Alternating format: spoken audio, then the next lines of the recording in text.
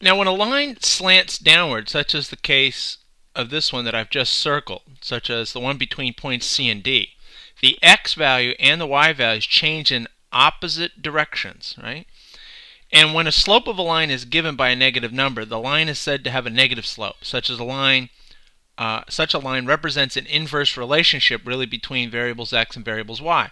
To convince yourself that this is true, remember again, slope is rise over run. In this case, we don't have a rise at all, but rather a fall of 1. So our rise is really minus 1. And then our run is 1, 2 units for our run. And we put that in the denominator, and we have negative half.